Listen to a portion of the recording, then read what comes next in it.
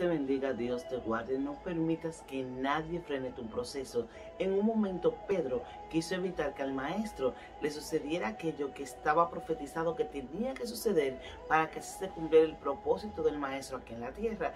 Y sabes que él intentó decirle, pero maestro, estoy parafrasando un poco, no, no permita que esto te suceda. El maestro dijo, es necesario que esto suceda. Así que, ¿qué te quiero decir? Los procesos son necesarios, son los que nos maduran en el espíritu, son los que nos llevan al propósito, son los que nos dan aquella firmeza, aquella fortaleza, son los que nos enseñan a conocer verdaderamente a nuestro Señor Jesucristo. Así que no permitas que nadie, pero absolutamente nadie, frene tu proceso. Que Dios te bendiga, que Dios te guarde.